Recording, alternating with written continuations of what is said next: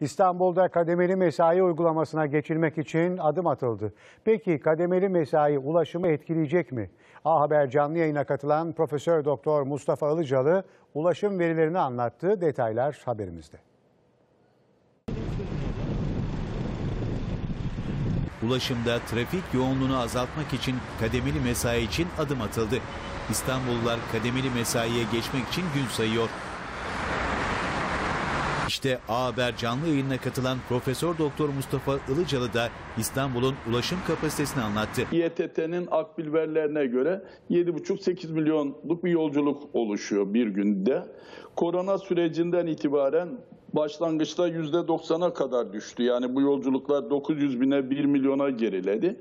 Daha sonra da böyle normal kısıtlamalar kalkarken, normal kontrollü hayata geçerken artmaya başladı. Yani en son yine İETT'nin verilerinden baktığımız zaman 4 milyonun üzerinde olduğunu görüyoruz. Ilıcalı İstanbul toplu taşımada günlük yoğunluk oranında değişiklik olduğunu belirtti.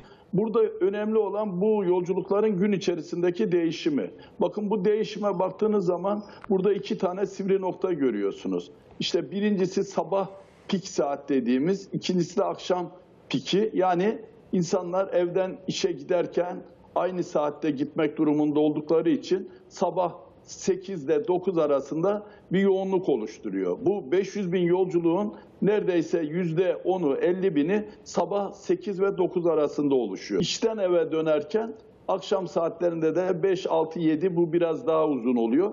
50 bin, 55 bini de bu saatlerde oluşuyor. Peki kademelendirmenin trafik yoğunluğuna etkisi nasıl olacak? Bu e, saatlerin birbiriyle girişim yapmamasını düşünmemiz lazım. Trafiğin hızı şu anda ticari hızlar 10 kilometre saatin altına düşmüş. Önce ilk başta trafiği ve toplu ulaşımı hızlandırmamız lazım. Her ilçede toplu ulaşım e, kapasite arzları aynı değil. Dolayısıyla bunun başarılı olabilmesi için bir trafiği toplu ulaşımı hızlandıracağız. Çok şeritli yollarda metrobüs gibi değil toplu ulaşım şeritleri çizerek EDS kontrolüyle toplu ulaşımı hızlandıracağız.